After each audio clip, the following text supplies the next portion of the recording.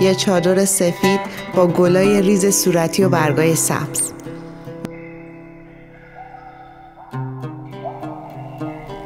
وسایلم رو جمع کردم.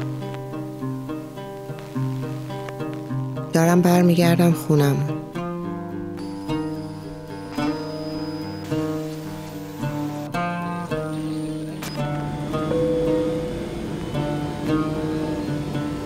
پرواز شماره 745 نویسنده و کارگردان مرجان پورغلام حسین.